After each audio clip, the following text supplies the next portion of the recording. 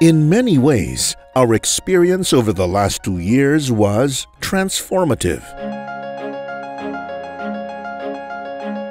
While the rest of the world came to a standstill, we continued to build, create new experiences, and adapt to what was needed in order for us to recover strong together.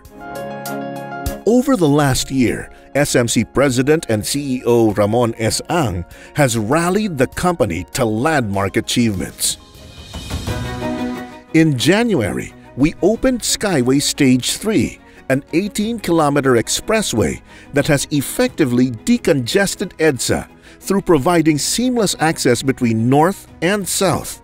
This seven-lane thoroughfare has cut to a fraction what used to be an hours-long commute from Makati to the start of NLEX. In April, we opened the northbound section of the South Luzon Expressway elevated extension.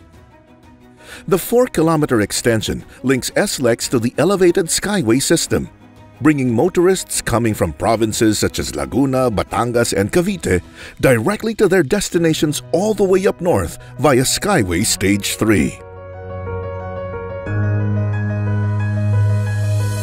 In June, we launched Ligtas Lahat, a 1 billion peso COVID-19 vaccine rollout for over 70,000 employees, extended workforce, and their families. To support the government's vaccination effort, we deployed nearly 200 doctors and nurses to local government sites.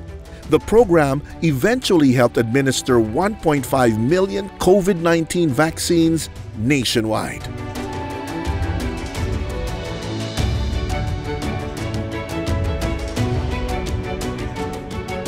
We continue to invest extensively on employee health. And over the last year, we have installed brand new CT scan and stress echocardiography facilities, as well as general ultrasound equipment at our full service clinic and laboratory located at the head office.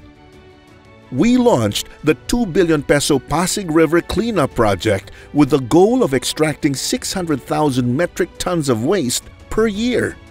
In July, we announced that we were ramping up investments in renewable energy while installing battery energy storage systems nationwide to help power our country's transition to a decarbonized future.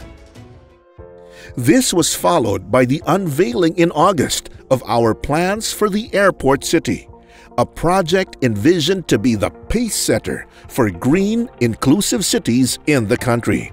Together with our new Manila International Airport project, we are looking forward to building a mixed-use airport city that is safe, clean, where people can easily access everything they need.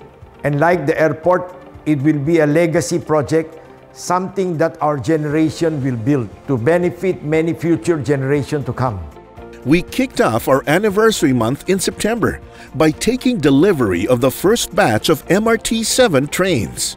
This mass transport system will serve thousands of commuters from North Avenue in Quezon City to San Jose del Monte in Bulacan and is seen as key to helping drive a strong economic recovery post-pandemic. Despite continuing uncertainties, our progress is a testament to our unwavering commitment to deliver on our country's goals. The work to accelerate our infrastructure development, boost our economic growth prospects, and invest in a better future for all drives us.